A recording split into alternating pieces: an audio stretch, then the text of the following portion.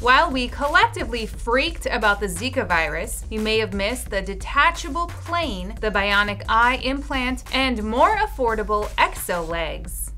Welcome to, in case you missed it's Bionic Superhero Edition, starting with the medical professionals who might need these chair leg things, saving lives and their joints because they can.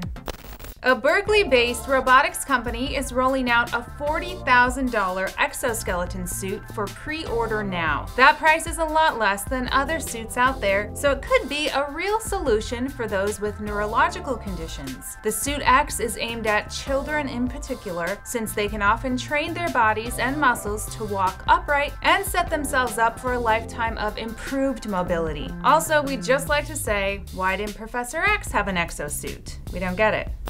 Australian scientists are testing a fully implantable eye. When can you get some?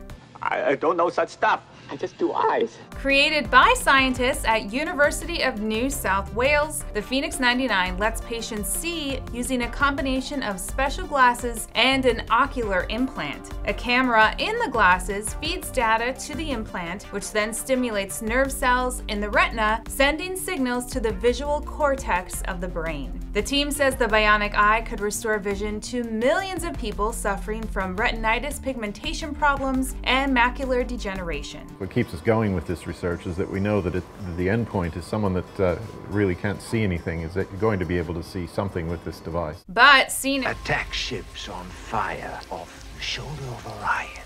probably a few years off. Catastrophic failures have accounted for less than 3% of all fatal accidents in the sky in the past 10 years, but no one wants to be on those planes. That's why a Ukrainian inventor is proposing a radical redesign for airliners. His idea detachable cabins that jettison from the rest of the plane and gently float back to Earth under a canopy of parachutes. It sounds like a good idea until someone secretly replaces the parachutes with camping supplies. And finally, if you know any physicist, you probably know this one. He's kind of the Evel Knievel of science stunts. He's in this pool to demonstrate that water molecules are packed much tighter than air by firing an assault weapon at himself from about three meters away. Bullet hole free with safety goggles. He's got it all figured out. This episode was brought to you by Go90.